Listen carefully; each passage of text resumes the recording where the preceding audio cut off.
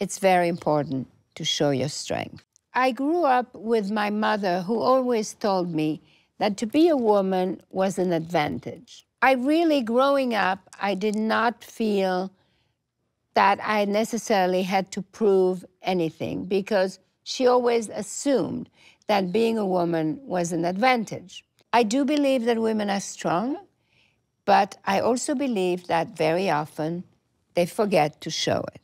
Your strength is really what you need most.